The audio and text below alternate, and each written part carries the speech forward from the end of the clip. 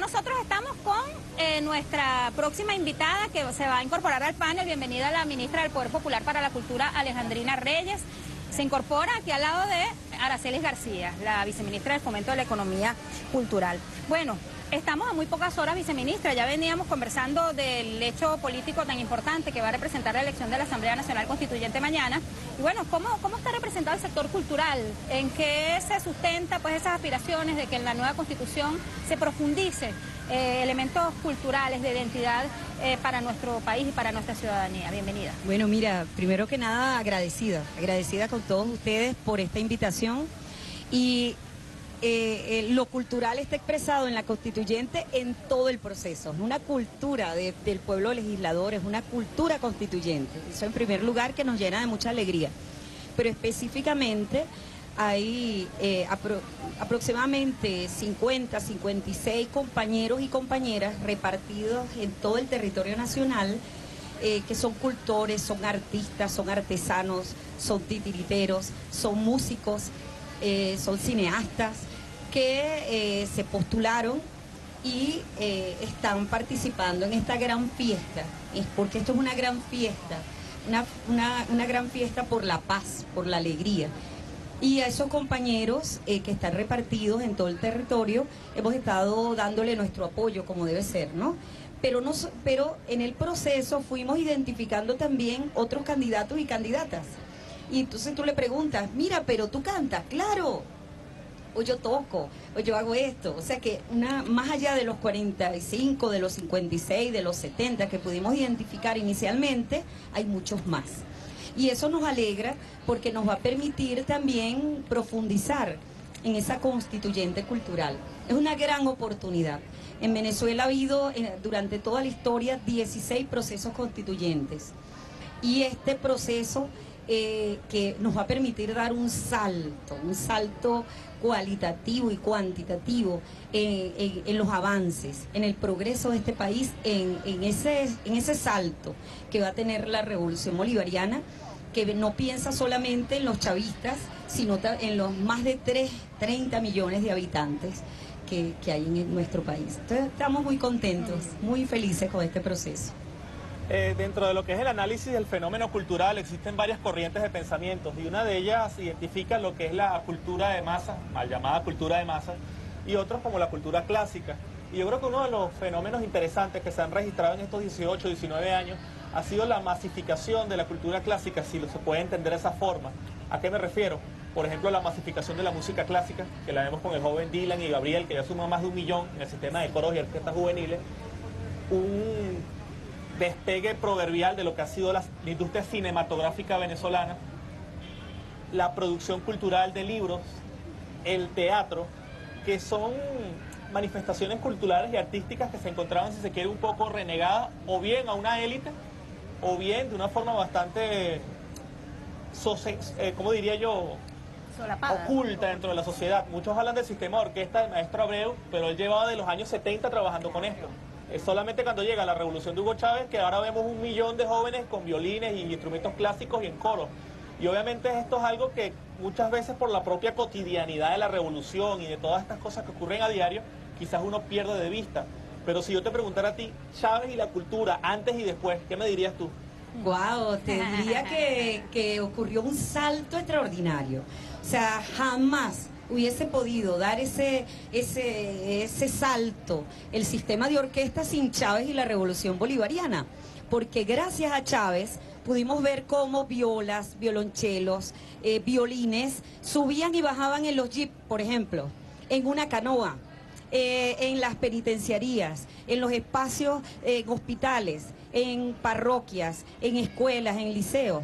Entonces yo creo que gracias a la revolución muchísimos muchachos, más de un millón de muchachos y muchachas y jóvenes pueden decir hoy, pueden manifestarle al mundo que son extraordinarios músicos.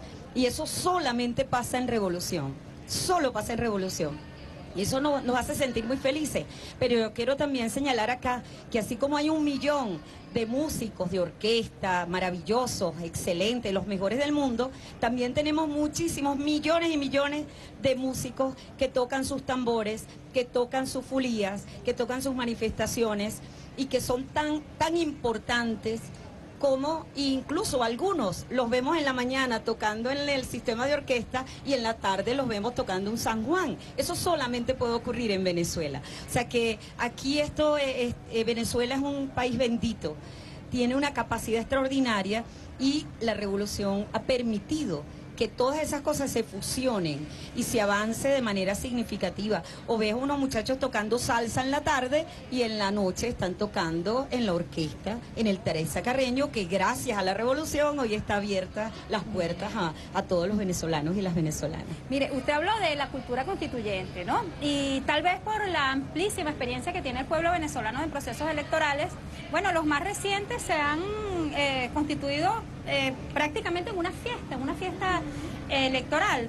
Eh, desde esas amenazas que algunos sectores eh, han intentado pues sembrar de, miedo, de que la gente no se movilice a votar, ¿hay algún plan desde el punto de vista cultural para reivindicar esa, esa concepción de fiesta electoral que históricamente ha cultivado Venezuela y que bueno, para este momento la elección de la Asamblea Nacional Constituyente pues también convoca?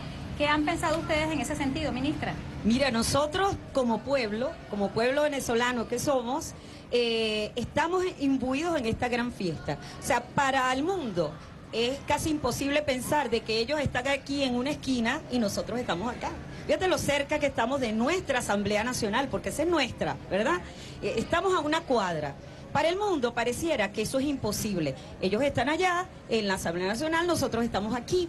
Igual, mira, mira las caras de todos los caraqueños, de las caraqueñas. Hoy están con felicidad, esperando ese momento.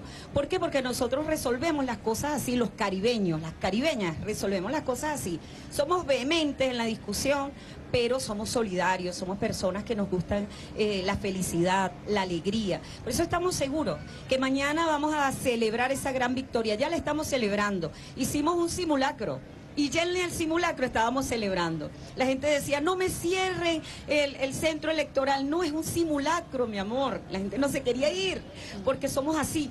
Entonces vamos a una gran victoria. Solo nos queda convocar e invitar a los compañeros que vayan a, su sitio. Y si no, a ese lugar, en, en el caso de Caracas, al poliedro, que es una belleza el poliedro. Ahí nos vamos a dar cita desde tempranito para ir a votar y los cultores y las cultoras van a estar alegrando las colas, alegrando la gente. ¿Por qué? Porque nosotros llevamos vida y esperanza y vamos a compartir esa alegría a través de nuestros cultores con la gente que está votando. Bueno, no todo en la vida es trabajo, también está el placer, el disfrute de la cultura.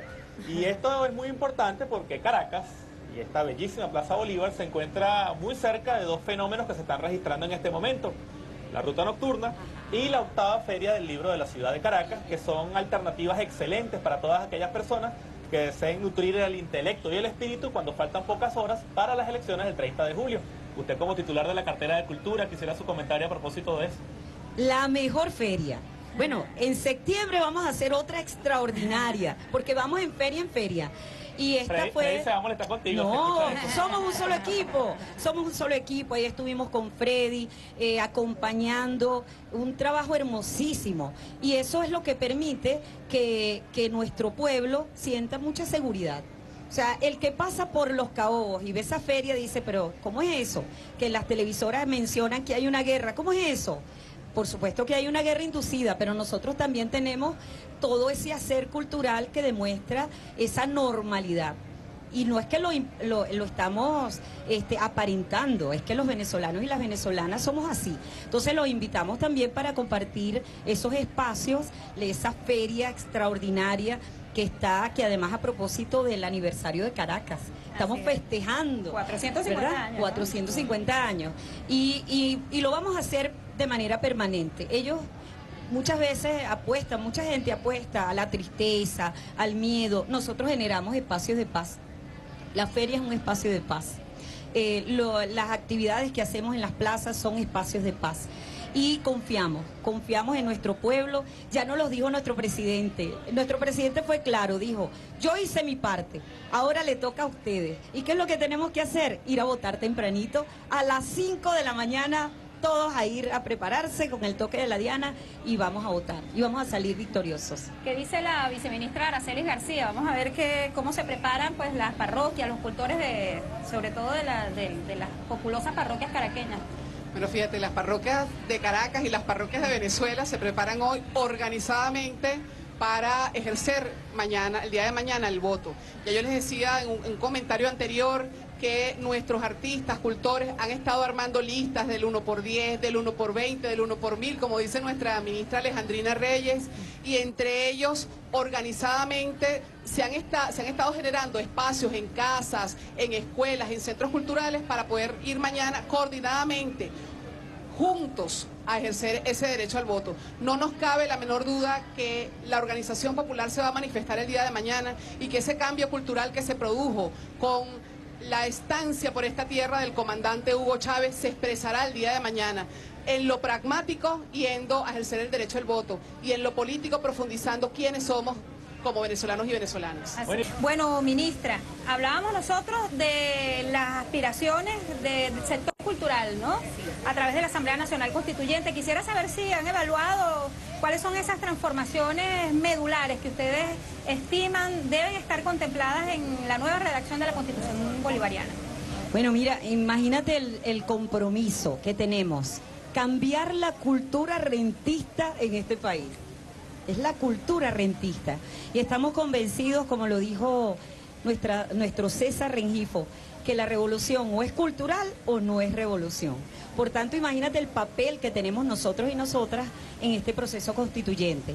Vamos a aprovechar al máximo para desde, desde la cultura influir y proponer, proponer esas transformaciones de los sujetos, de las sujetas, en la cultura alimentaria, en la cultura eh, agropecuaria, en la cultura artística, en la cultura política incluso, porque eso es parte también del hecho cultural. Hablábamos de la cultura de la paz. Claro, la cultura de la paz, qué hermoso. La cultura de la paz no se dice, se ejercita. Y yo creo que eso hemos, hemos hecho parte de esa cultura de la paz en todos estos 110 días, ¿verdad? Que llevamos. ¿Quiénes más, quiénes son los exponentes de esa cultura de la paz? Los venezolanos y las venezolanas. De manera que nosotros llamamos y quiero aprovechar de invitar a todos los compañeros y las compañeras, a todos los habitantes, no solamente de la, de la ciudad de Caracas, sino de Miranda, a ese pueblo invicto de Miranda, altos mirandinos, con ese espíritu guerrero de la cultura originaria, de la cultura de Guaycaipuro, de la cultura guerrera, pero esa, esa, esa cultura hermosa de paz también que tenemos de nuestros ancestros, que mañana salgamos tempranito, muy temprano, a votar.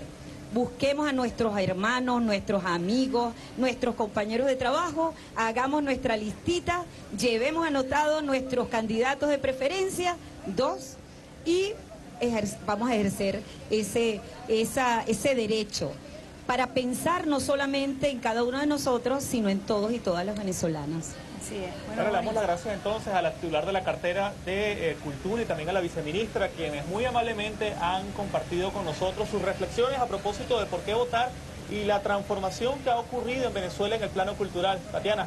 Así es, Boris. Ya con esta participación nosotros vamos a una pausa. Regresamos porque hay mucha más información, participación del pueblo. Creo que tienes por ahí una cita con los visitantes este sábado, Boris, del pueblo venezolano. Una fiesta familiar de disfrute, de mucha integración y sobre todo de preparación, porque mañana bien temprano pues es el día para ejercer nuestro derecho constitucional al voto en estas elecciones de la Asamblea Nacional Constituyente. Vamos a la pausa, regresamos en unos minutos y más invitados al regreso de este corte. Así es, ya venimos.